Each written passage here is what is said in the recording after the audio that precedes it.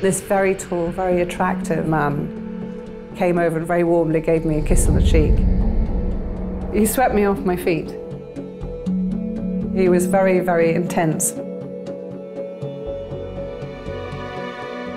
I was totally in love with him, and so I trusted him. There was something going on in the background. Danger's everywhere, hun.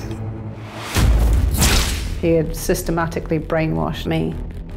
He was asking us for money. I don't have anything to give. I was under his control. I'm terrified. Living, breathing fear.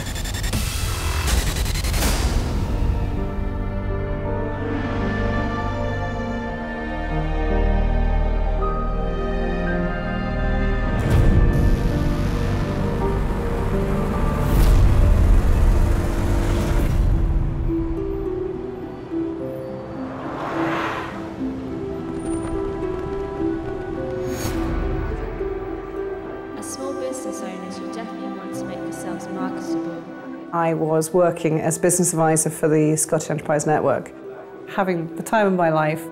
I think we need to lower the price points, and that's really going to increase the sales. I'm very bouncy, very cheerful, see the positive in most things, very optimistic. Mary Turner Thompson runs a thriving consultancy business in her hometown, Edinburgh. She's strong and successful and leads a full life. But there's one thing missing. I had a small child. The relationship with my eldest daughter's father had not worked out. She was a very gregarious woman who's at home with a baby, lovely as that is. So um, I think she just went online just to speak to people. I'd met three guys initially. Uh, the first one turned out to be a bit like a big brother. The second one came across like the mad axe murderer.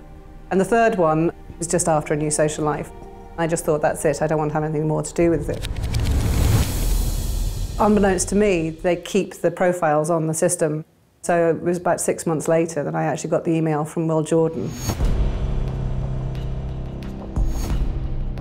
He told me all about the fact that he was American and he came from New Jersey. He works as an IT consultant in the UK. He seems just perfect. I share your view on personal responsibility. I might as well say at the outset that I'm seeking a long term relationship, so a quick fun seeker would not find me desirable. He seems at first so genuine and so relaxed. We were emailing five, six times a day, and it's very exciting. He um, appealed to her senses, so he would say that he liked the same things as she did. He seemed to sort of tick all of the boxes for her. He seemed too good to be true. She did feel that she'd met her soulmate. She was probably not expecting to meet somebody, certainly not somebody who seems as perfect uh, as Will Jordan. Right from the start, Will tells her about his personal life. He told me that he was infertile because of a bout of mumps when he was a child. So, if growing your family naturally is on your cards, then I suppose I am not the best choice of partners. Though I do want children very much and I get on very well with them.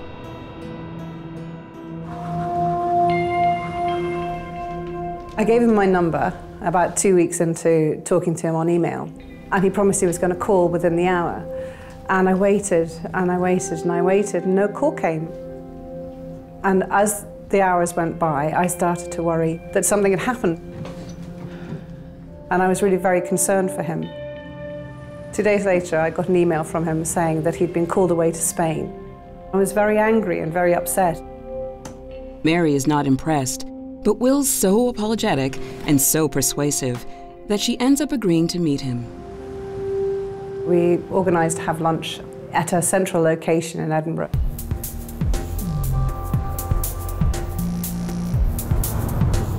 This very tall, very attractive man, very tall, dark and handsome, as they say, came over and very warmly gave me a kiss on the cheek. And I was instantly attracted to him, put his hand on my small of my back and off we went to the restaurant. We're ordering pizza. I order a pepperoni pizza, and he goes, That's my favourite too. Whilst we're eating, I'm just looking at each other, and thinking, how, how did we manage to have such a strong connection over the written word? I felt totally at ease. The more I found out about him, the more I liked him, admired him, and thought this is actually really quite a special guy. We're walking back to his office, and as we were at the car park, he kisses me. It was a very passionate kiss. Quite often when you have a first kiss, it's a little bit tentative, but uh, his wasn't at all.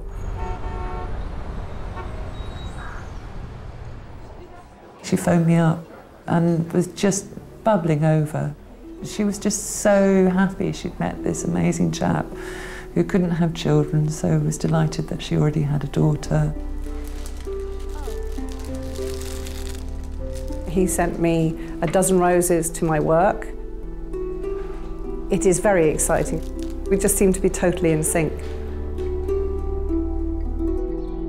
In the first months of knowing Will, I was very happy. I was uh, falling in love with him. This was somebody quite remarkable.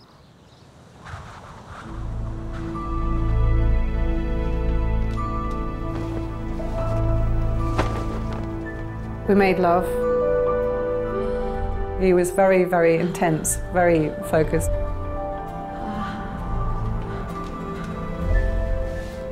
He swept me off my feet.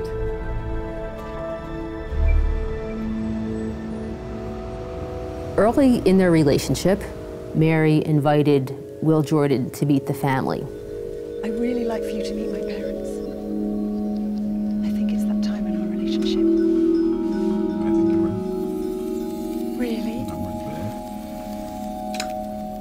This was an important moment. She wanted her family to meet this person that she's been talking about all this time.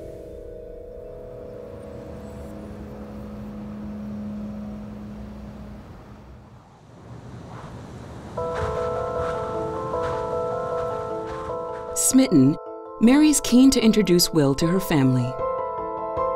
The first time that he was supposed to meet my parents, I arrived and he was going to arrive separately. To Mary's intense embarrassment, Will doesn't turn up. The family sit and wait while the food goes cold. And as time ticks by, the sinking feeling of being let down in front of your parents is sickening. As Christmas approaches, Mary is beginning to have serious doubts about her new boyfriend.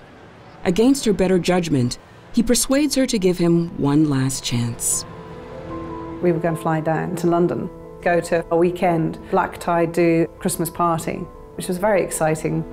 Will says he's going to pick her up and take her to the airport for the flight to London. As it got closer and closer to the time, I'm getting more and more stressed out. And I text him and I say, Are you ready? And I text back saying, Yes, I'm on my way. I'm in the car now. I'm stuck in traffic. And then text back, Where are you now? We're going to be late for the plane. Nothing. Where are you? Nothing. So and that's when I opened a bottle of wine and I had a couple of glasses of wine when I realised it just wasn't happening. I am absolutely crushed.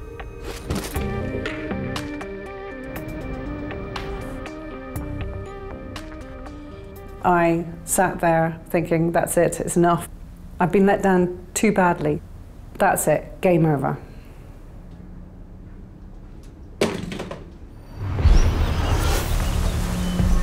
Didn't hear from him again until the morning. I don't think I even said anything to him. Went into the kitchen and just leaned against the cooker with my arms crossed and my legs crossed, waiting for some sort of explanation. I was angry. I was really, really angry. I was going, this is just not good enough, and I'm not going to put up with this. And I'm finishing the relationship. And he says, Well, I'm really disappointed we're not going to London because I had a very specific reason to do so. And he said, I wanted to give you this. And he handed me a fluffy teddy with a ribbon around its neck. I had to uncross my arms to take the bear and realised that on the collar of the bear, on the ribbon, is a ring. His proposal came right out of left field, and I was completely taken aback. Mary is thrown off guard. The ring's a huge surprise. But that's nothing compared to the terrifying secret her boyfriend is about to reveal.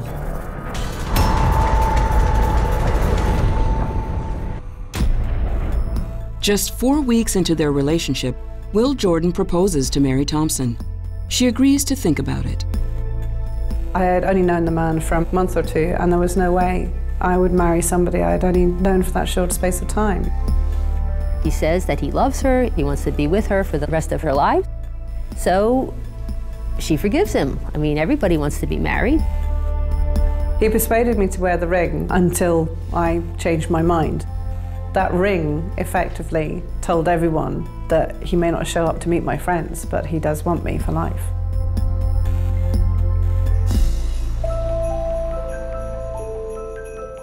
That year I spent Christmas as usual with my family. Very loving and very supportive, but they do tease. They decided that they'd come up with a new nickname for Will, and that was Won't. They thought this was very funny that I was wearing the ring, but that he wasn't there again. My parents obviously thought he was not necessarily good boyfriend material. You know, he, he wasn't reliable.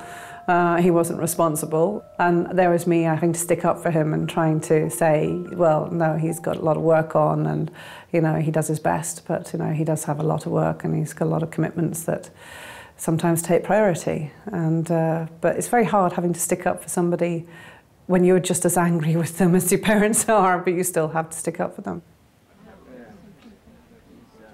Every day, all day, I would get texts. You know, we would text back and forth 20 to 30 times a day. He would email me lovely letters telling me how much he was missing me.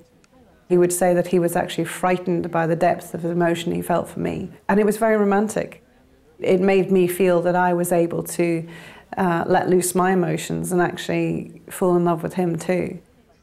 Mary was over the moon. She appeared very, very happy. But Will was a bit of a mysterious character in terms of not appearing when he was expected.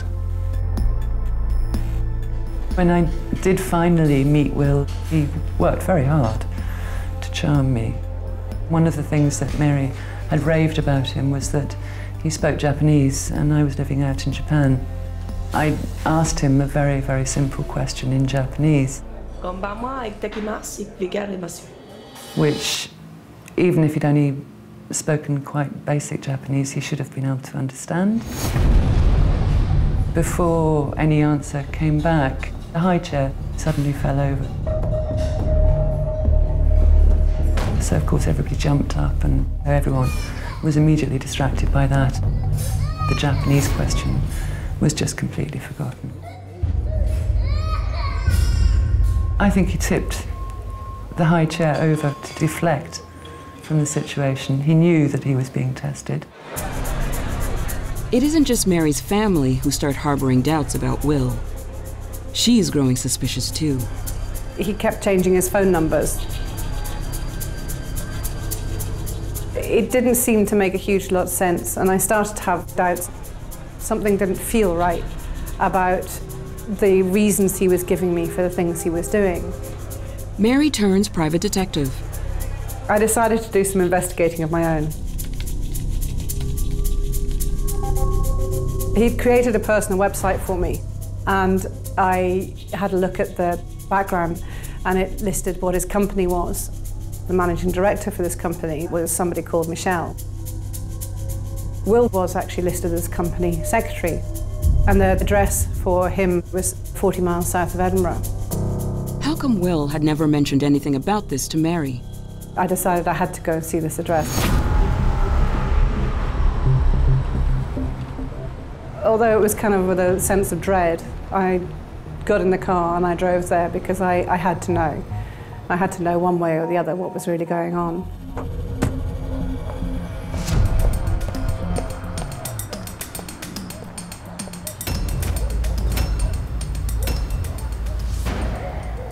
Mary is totally unprepared for what she finds at Will Jordan's company headquarters. I looked over the gate and there were children's toys in the garden. And I was stunned and really, really taken aback. There was all sorts of things going through my mind. Is my whole life about to fall apart? Is he cheating on me?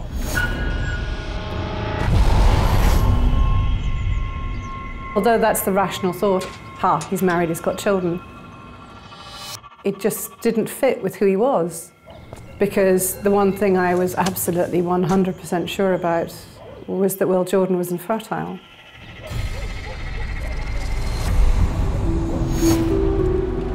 I was feeling devastated. As I drove home, nothing I knew about him could be correct. Is he who he says he is? Mary's whole world has been capsized. As soon as I got home, I texted him to say, We need to talk now. I wanted to look into his eyes and see what he was going to say. I wanted an explanation. He said, please just hear me out. Just, just hear me out until you make it, you know, until everything's said, and then you can make up your mind. He said, I'll be back in a moment. And he went out the room. And he was in the hallway, on the phone, pacing backwards and forwards. My mobile phone sitting beside me started beeping with texts that said SIM update, an MOD relay, an ODCI relay. I was very confused. This is not what I was expecting. And he came back through, looked into my eyes and said, I've been given permission to tell you.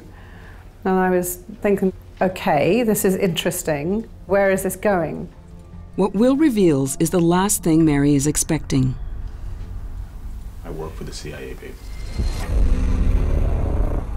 He explained to me that he worked for the Central Intelligence Agency.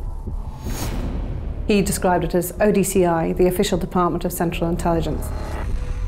The updates from the ODCI and the MOD relay were to, to make sure that they could access me at any time. My phone would have to be updated and bugged, basically. He was on secondment from the ODCI to the Ministry of Defence.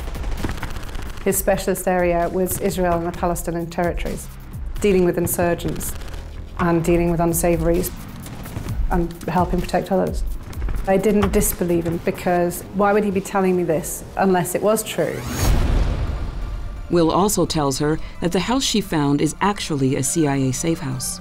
And obviously, it had children's equipment in the garden because that made it look innocuous as something that other people wouldn't notice. Mary finds it hard to believe. But Will is so persuasive and so eloquent, and she's so much in love with him, she gives him the benefit of the doubt. He actually cried and told me that I was the one thing that made life worth living, that he couldn't believe how close he'd come to losing me. He now knew why he was doing what he was doing, keeping the world safe because of me and my daughter. I felt very proud of him.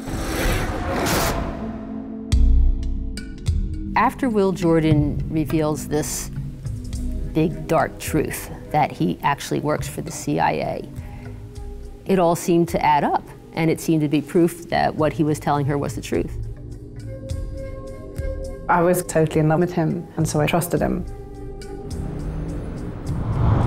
He had money packets that were sealed plastic envelopes with the Ministry of Defence stamped on them.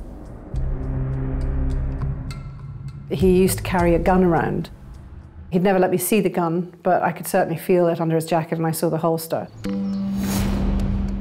Will claims that her discovery of the safe house has put him under pressure. It means he'll be away for longer periods.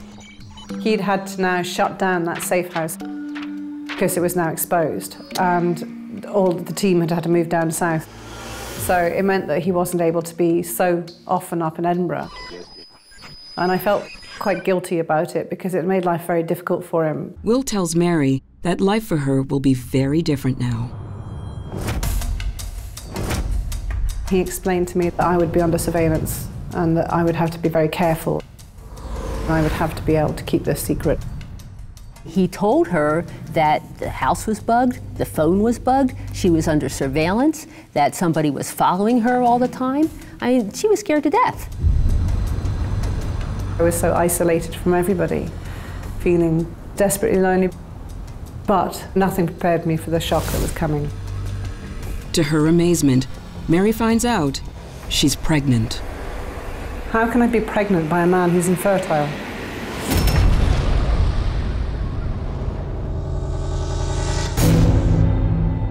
I was completely convinced that Will would think I'd had an affair. And I thought long and hard about how I was going to deal with this. I was very, very worried telling him. But his reaction was extraordinary. He, he leaned against the wall, all the blood drained from his face. He went ashen white and looked at me and said, You're magical. Wow. Wow. A family. We will. My God. It's amazing, it's a miracle. Beautiful. Oh my goodness. When Mary got pregnant, she was thrilled. Here she was, able to give the man that she loved what he always wanted and thought that he would never be able to have. It made me feel that this was something that I was able to give him that nobody else would ever have ever managed to do. The child was very special. We were having a, a walk with the family. He drew me aside and asked formally for my permission to marry Mary. I was quite impressed by it, and I said yes.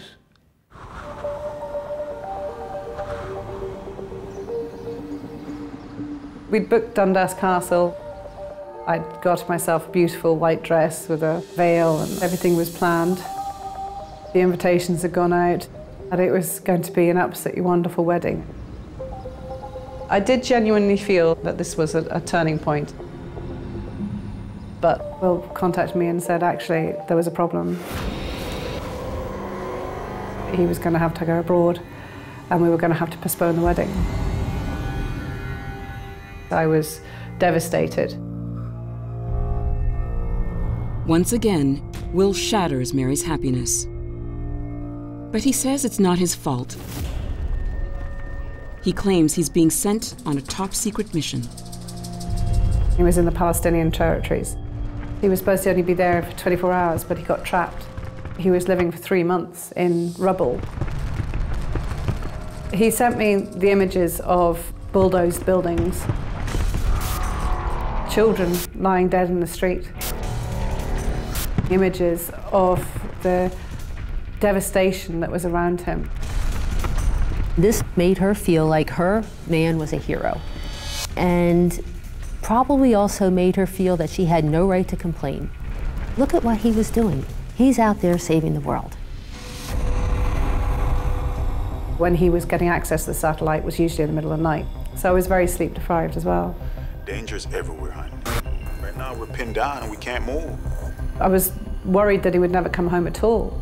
And even if he, if he did come home, he was going to be scarred by this.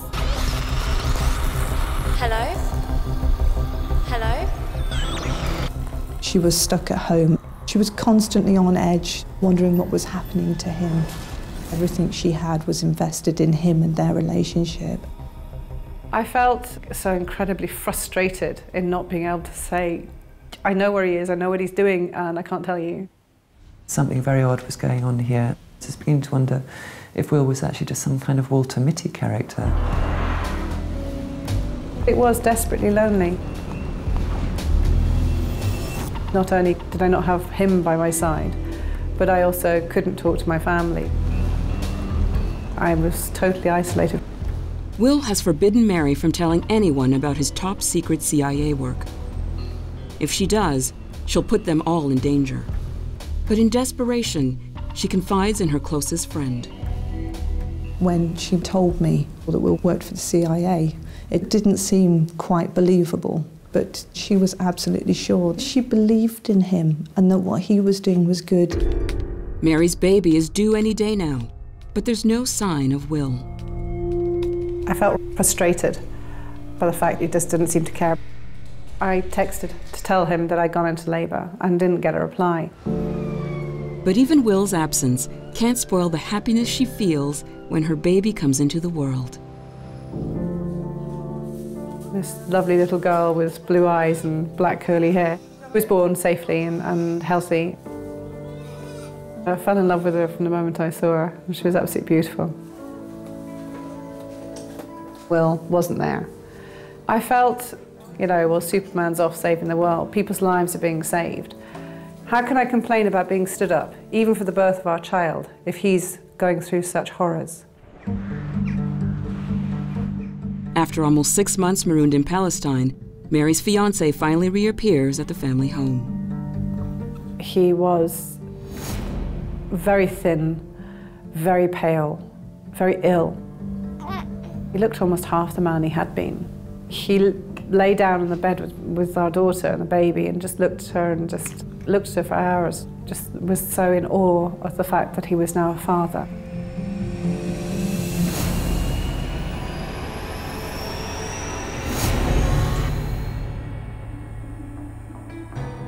But mentally and emotionally, he seemed like he really had lost faith in the service. He'd lost faith in what he was doing. He wanted out. Will tells Mary he wants to leave the CIA. The trouble is, they're reluctant to let him go. I believe that they were actually punishing him, that they were making life difficult for him as an example to other people that you don't leave.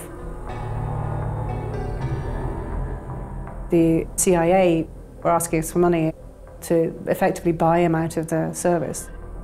He thinks that if he's able to extricate himself from the CIA, then he could come home to her and their children and they could be a family. At that point, I was starting to really not trust what he was saying. Just there were so many inconsistencies. You know, why would he have to pay his way out of the CIA? I just felt there's no other option that I had to give him the money. I was under his control. Mary hands over $20,000 of her savings. It's a price worth paying. Now he can start his new life with her. And I just felt finally things were going to change. Finally, we were going to be together as a family. It was a very happy time for me. No, he was alive and safe and well, and I didn't have to worry about his, him being in danger. My mum was the one who always looked after us and stuff, who fed us, dressed us, got us clothes, looked after us. And like Will and my dad, they were just, you know, the kind of thing on the side. They were like the fun people that would come and say hello to us every once in a while kind of thing. Will was always like the super dad. He was always like really strong, helping her with the dishes, helping with cooking, helping putting us to bed Oh, always giving us piggybacks and, you know, lifting up in the air. So we decided that we were going to get married again. With the last of her savings, Mary organizes a last minute wedding. I rang my parents and my sisters and my brother and I said, I'm, I'm getting married today if you want to come down.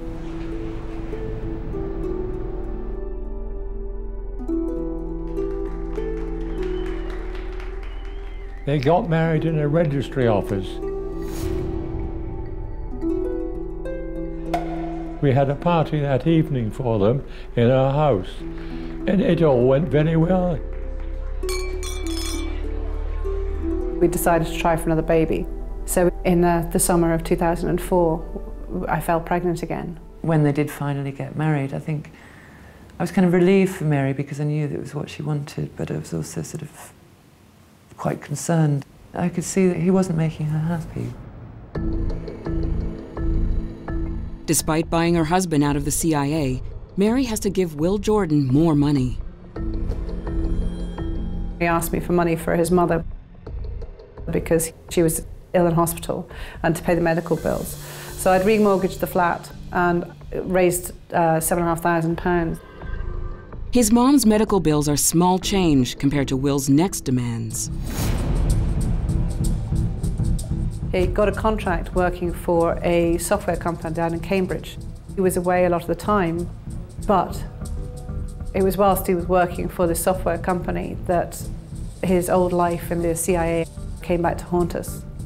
Life was spiraling badly out of control. Despite leaving the intelligence service, Will tells Mary he's being blackmailed by an enemy agent.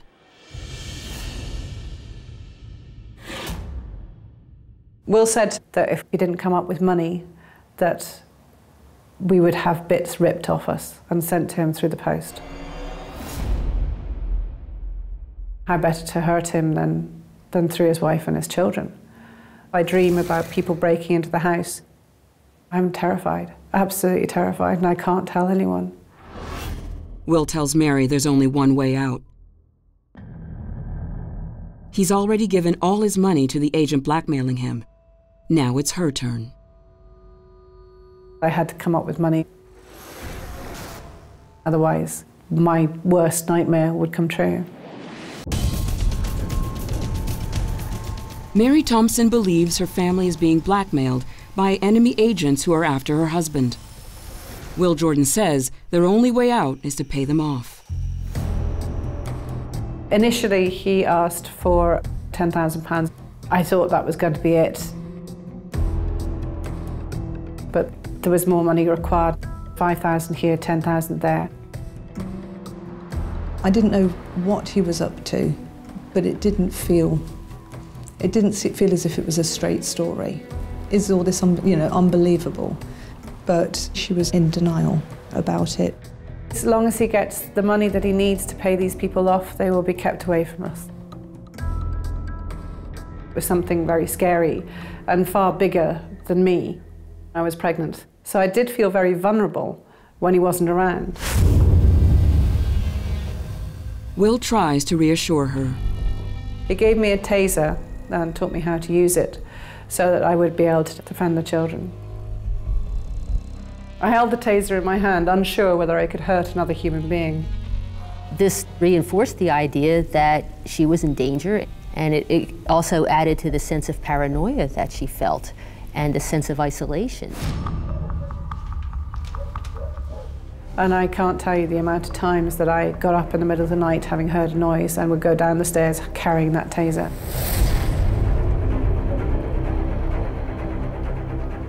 I mean, it's just living, breathing fear. Very quickly, any money that we had in the bank was gone. Very quickly, I had to raise more money. I remortgaged the flat. That money was gone. In desperation, Mary turns to her brother. I'm going to need £5,000. Mary asked for another 5,000, at which point I turned round to her and said, is this for you or is this for Will? And she said, it's for Will. And I said, in that case, I'm not willing to give it to you. I was suspicious of, of Will. I got to the stage where I thought this, this had gone on too far. Eventually, the only real option to raise enough money to, to get these people off our backs was to sell the flat. I sold my flat in Portobello and raised £165,000. Almost all of it went to these very dangerous people who were threatening our lives. She thinks if they can just get over this hurdle, then everything is going to be wonderful. With Will away looking for more contract work, Mary rents a cheap apartment. I was not rational, and I really was trapped. I was so short of money, I was scrabbling around the back of couches trying to find change to buy some milk for the children. Within a couple of weeks, Will came back and said, I need more, and this is really, really important, and this is vital, and this is the last ever. And I, I just shook my head and I said, I haven't got it. This will be the last time, I promise you. I had pretty much given the shirt off my back. I had no money, I had nothing else I could sell. If I was going to get hurt, then I was going to get hurt. That was it. We'd reached the bottom of the bucket and there was no further down to go.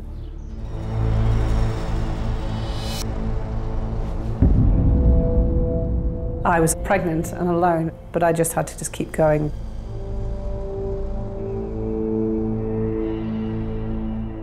She was a very together person when she met Will, and that slowly sort of disintegrated. And she did become pretty much a shell of the person she used to be. Zach was born, and I did genuinely believe that things were about to get better. And one day I receive a phone message from Will that makes my blood run cold. My very worst nightmare is coming true. I'd missed a phone call from Will, and uh, it had gone on to answer machine. And he'd called me by mistake. There was a woman saying, sit down in the back, and then you could hear Will aggressively saying, put your seatbelt on. I'd never heard him use that tone. It sounded exactly like a husband and wife being irritable with their children. I listened to it over and over and over and over again, trying to glean some sort of information from it. All of Mary's worst fears about Will are coming back to haunt her.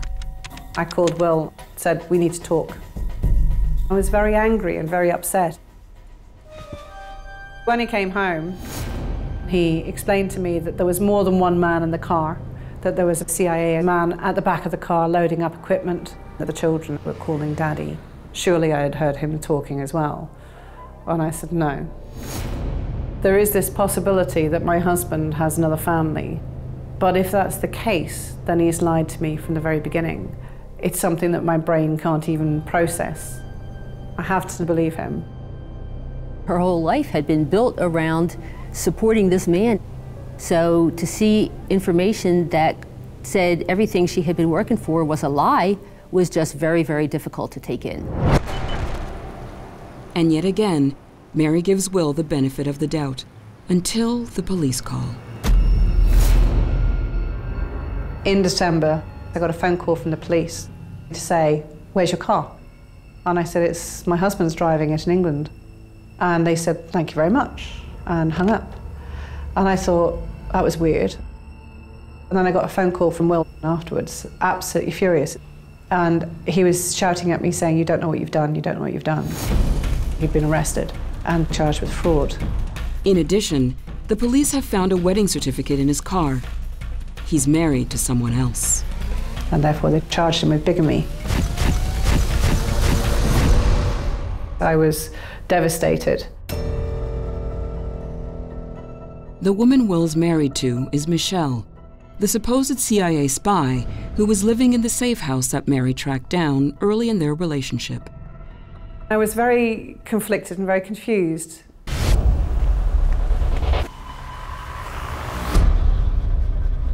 He said I wasn't to say anything. I was not to answer any questions because they were going to try and trip me up. So when the police rang me and said that he'd been charged with bigamy, I kept quiet. I was scared to remove any evidence that I'd ever known anything about Michelle. So, under his instruction, I shredded the details I had, the company house records I had, showing that Michelle was the company director. I took any receipts and I shredded them and I burnt them in the grate. And I took the ashes. And as instructed the will, I walked down the street to check I wasn't followed and then put them in somebody else's bin.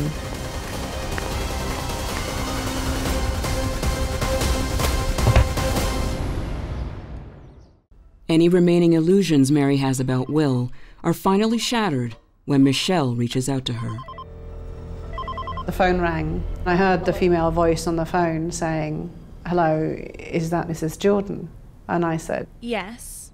And the voice said, I'm the other Mrs. Jordan.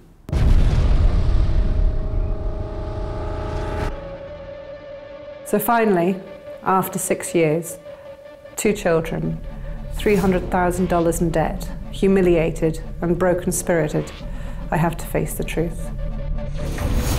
My husband does have another family.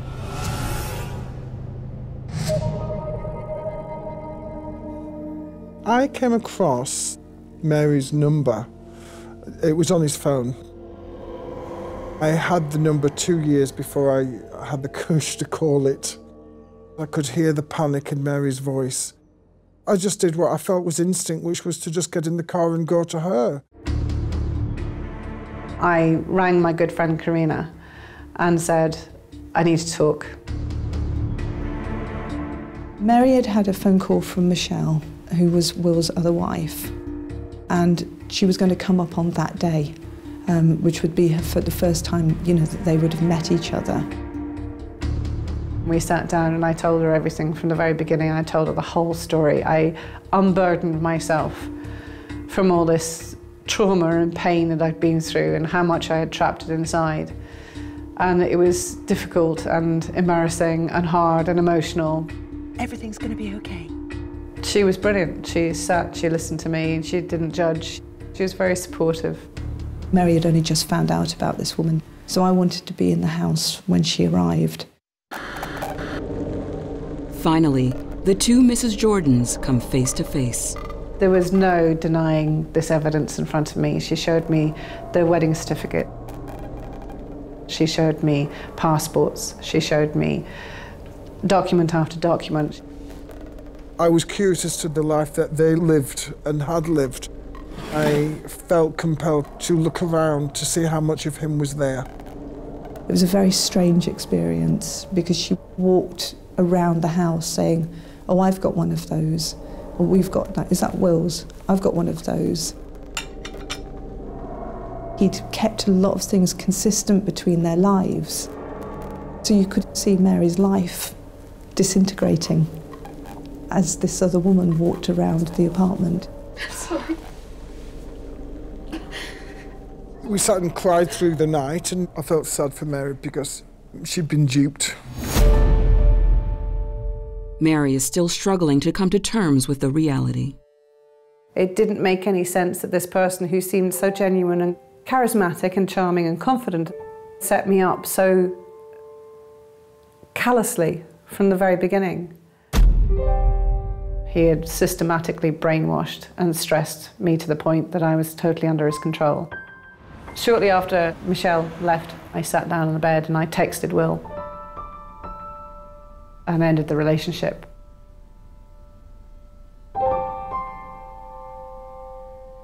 Mary thinks she's broken free of Will Jordan, but the nightmare continues. And though I can't see how the situation can get worse, it does. Not only is Will Jordan a fraudster and bigamist, now she discovers he's a sex offender.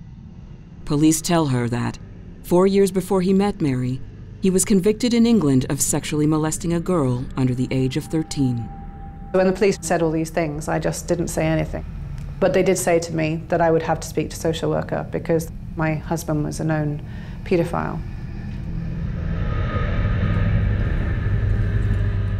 Astonishingly, Will still believes he can pull the wool over Mary's eyes.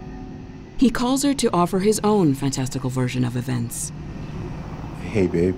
Hey, what's up? Listen to me, babe. Ten years ago, I did a job at a sex offenders prison. They had a 13 year old girl say that I molested her just so I can get into the prison so I can do the job. After six years of lies and excuses, Mary is finally forced to face the truth. That was the lowest point in my life. In desperation, she goes to see a lawyer. And the lawyer said, I've heard it all before. I've heard every excuse that every any guy can come up with. What you're telling me is true? He said he was a known paedophile, a systematic and controlling con man. I never thought that he would do this. He would think about hurting my children. As the social services say, you do something, you do it to keep your children. I left the lawyer's office and I sat in the car and I just cried because I knew I wouldn't allow somebody to take my children away because they believed him to be a paedophile. Will Jordan never did abuse Mary's children. His trial for fraud and bigamy opens in November 2006, six years after their first date. I had spoken to the police and said, I want my statement in front of the judge. I wrote that this man he had systematically targeted and impregnated single mothers to rip them off for money. I was very nervous about seeing him in court. My doctor had said to me, don't look at in his eyes, look at his shoulder. So he then doesn't have any control over you. People believe that sociopaths hypnotize their targets with the predatory stare. So she was very careful not to look at him. He knew exactly what he was doing. The judge said that Will Jordan was an inveterate exploiter of vulnerable women. The statement that I gave the judge made all the difference. Because he got five years. He got 18 months for the bigamy, he got 18 months for the fraud, he got nine months for not registering address on the Sex Offenders Act. Will, Jordan just looked nonchalant, not bothered, not guilty. He didn't look like the man I'd married. Finally, I looked at him straight in the face. His eyes went up a bit of that kind of, oh, I've got her kind of thing. And I just turned away.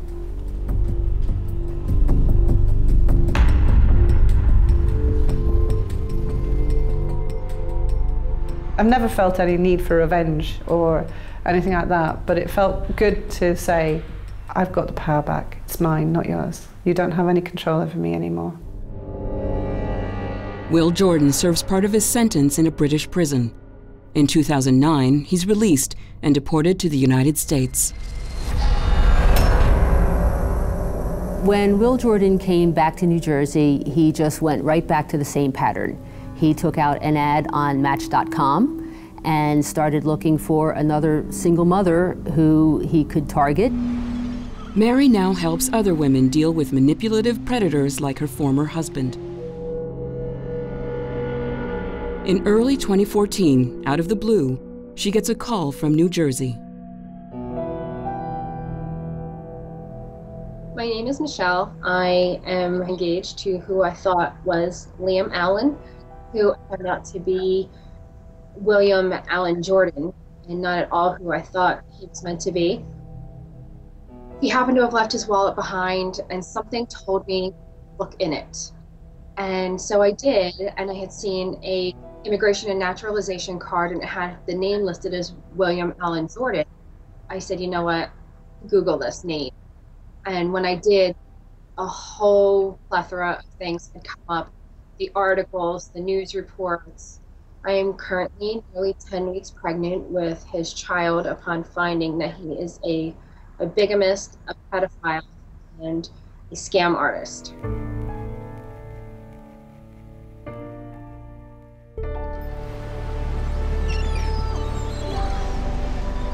I finally now accept the truth that Will Jordan is a sociopath and that his only pleasure in life is manipulating other people. Mary's a strong woman. She's moving on with her life, she's taking care of her kids, and she's also speaking out about what has happened to her. And I applaud her for doing that. He took four years to get me to the point where I was malleable enough to rip me off for money. It's a long con.